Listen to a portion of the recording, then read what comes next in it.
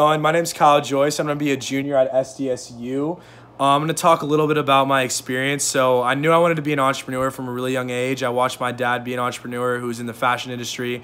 And I started by going to different road shows selling products with him. And I've done that pretty much my entire life.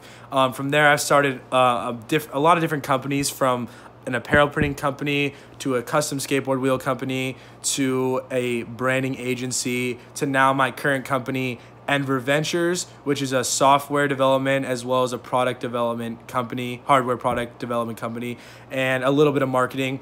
Right now, I'm focusing on my tech startup, Enver Suite, which is essentially going to be a web builder similar to Wix and Squarespace, but it's going to be targeting higher end businesses who need custom solutions but don't want to go to a web agency and pay thousands of dollars for a one site that's dynamic, that can't be changed easily over time. We offer industry specific plugins, and our motto of our business is a website builder that grows with your business.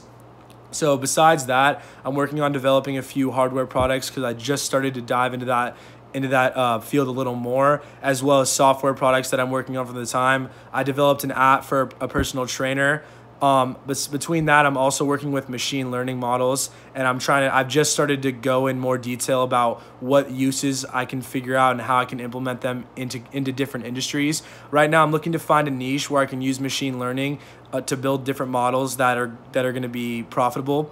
Um, in terms of a mentor, I'm looking for somebody that is a fast mover, loves to get involved in new ideas, is is willing to create, anything software related or hardware, as well as somebody that can help me figure out what my weaknesses are and how I can make them better, as well as identify my strengths and figure out the best ways I can use them. And pretty much anyone I can just go to to ask questions. I love learning, it's literally my favorite thing to do besides being an entrepreneur.